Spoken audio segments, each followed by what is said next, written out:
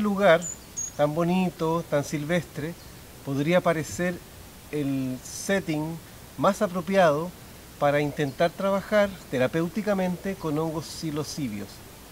Sin embargo, pónganse a pensar en cuántos estímulos de belleza infinita nos ofrece la naturaleza al punto que puedan desconcentrarnos y sobre todo, y lo más importante, hacernos atender objetos del mundo exterior.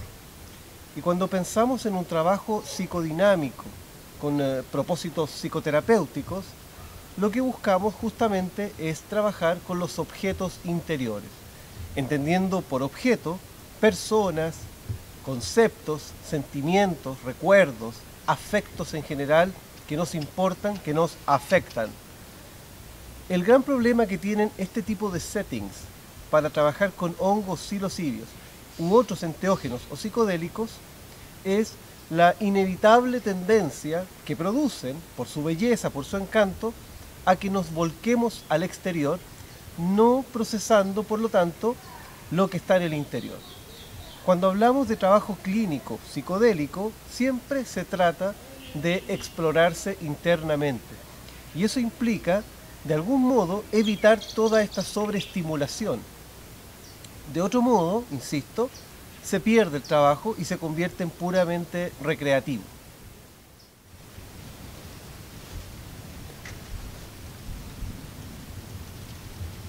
Otro aspecto que es súper importante de considerar es la seducción, que significa abrirse paso en un espacio como este, hacer un viaje, un paseo, y en esa exploración perderse o al menos separarse del grupo con el cual se comenzó y se pretende mantener esta actividad hasta el término. Si dos, tres o cuatro miembros del grupo que está trabajando con el psicodélico pretenden salir a caminar, tenemos el riesgo del extravío. Y no es fácil. Por lo tanto, también este es un llamado a los terapeutas psicodélicos que trabajan en espacios outdoor a tener contratos muy firmes con sus participantes para evitar accidentes que ya conoce la historia. Cuando gente en estados modificados de conciencia se pierden, se extravían, caen por un barranco, etc. Los riesgos son varios, hay que considerar ese aspecto también.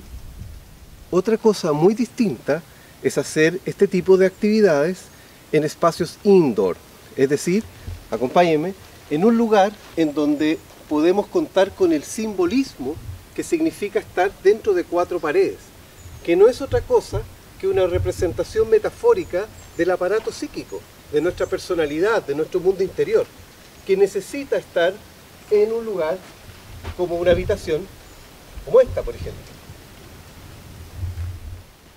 Entonces, el hecho de estar dentro de cuatro paredes es una representación de esa interioridad psíquica que es donde internamente vamos a trabajar asuntos que requieren este tipo de psicoterapia psicodélica.